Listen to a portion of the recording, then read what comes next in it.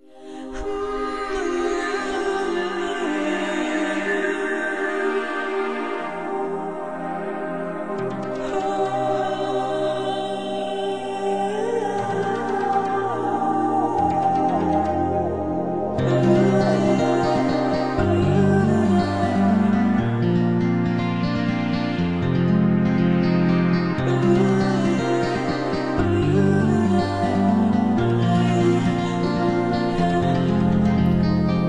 November 2002, Barry and I made a once in a lifetime trip to Hong Kong in China.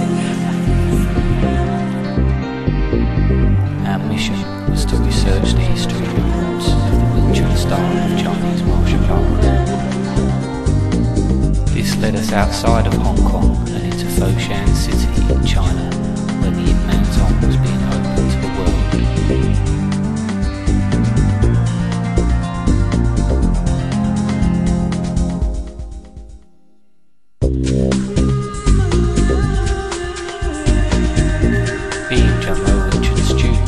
ourselves, we thought that we might find a trace of our own Grandmaster, as he too was taught by the great Ip Man.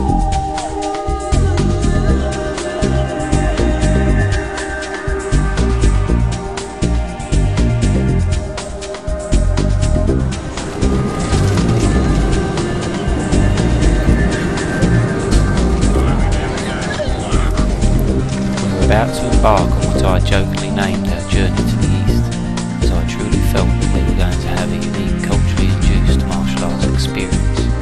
modern-day adventure reflecting the famous Chinese novel.